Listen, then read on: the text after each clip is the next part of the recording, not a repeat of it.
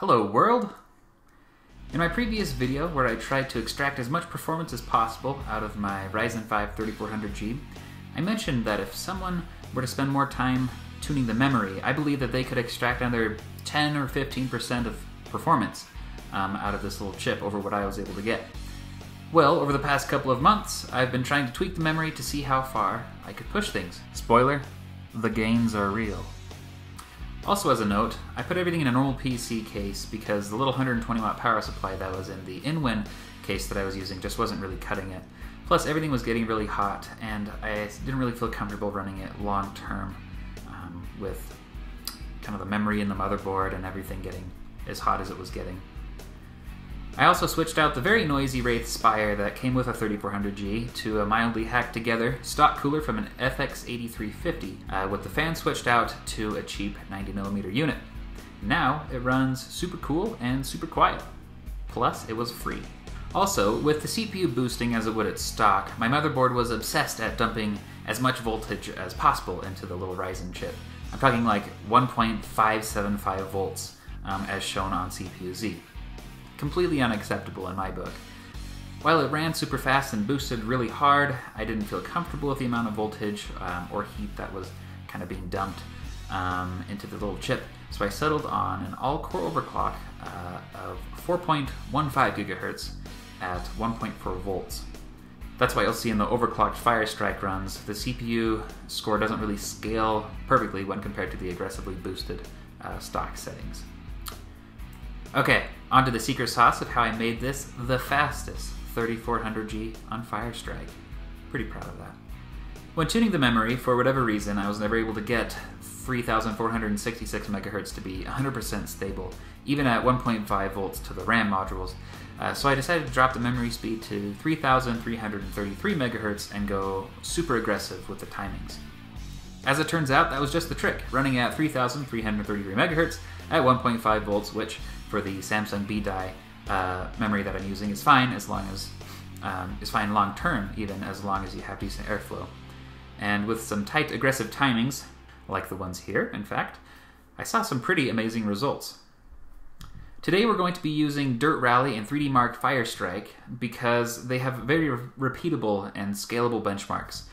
Also, trying to achieve the Firestrike record is a pretty cool goal, so we'll see where we land with that.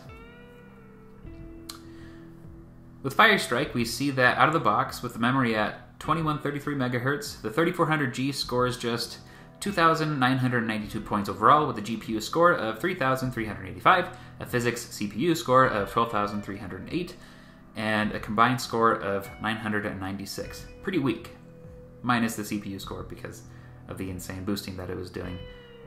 The rest of it was pretty wimpy though. However, with just super aggressive memory tweaks and leaving the integrated graphics at the stock frequency, we're able to score 4,049 points overall with a GPU score of 4,535, a physics CPU score of 13,767, and a combined score of 1,415. It's pretty impressive uptick in performance. In fact, that is a 34% increase in GPU score. Just from memory. If that doesn't prove that the Vega 11 graphics are memory starved, I don't know what does. If we add a GPU overclock to the mix, things get even more exciting.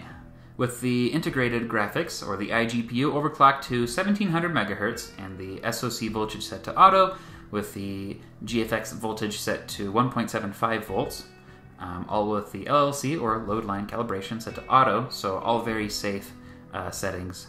We get an overall score of 4,366, a graphics score of 4,944, a physics CPU score of 13,767, and a combined score of 1,505. Here's how it looks side by side with the memory and graphics overclock on the left, just a memory overclock in the middle, and the stock out of the box performance on the right. In case you're wondering, that is a 46% performance improvement over stock. I don't know another graphical anything in this world that overclocks 46%.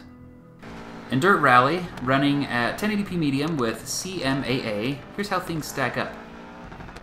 Again, The memory and graphics overclock is on the left, just the memory overclock in the middle, and the stock out-of-the-box performance is on the right.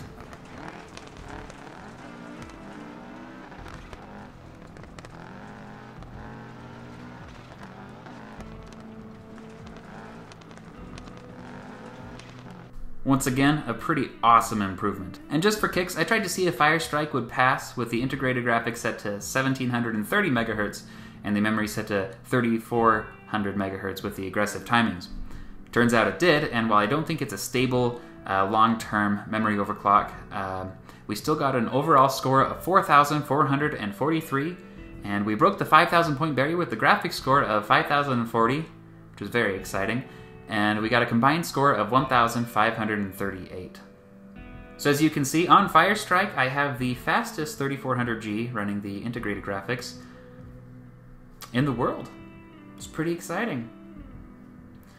Unfortunately, there are two turds out there that somehow got a higher score with their 2400Gs. Pretty pretty irritated with that. One guy got a uh, an overall score of like like four points higher than mine, and uh, the other person got just some ludicrous score that I really honestly don't know how it was possible, but whatever. I guess I will accept defeat in that respect. But I still have the fastest 3400G.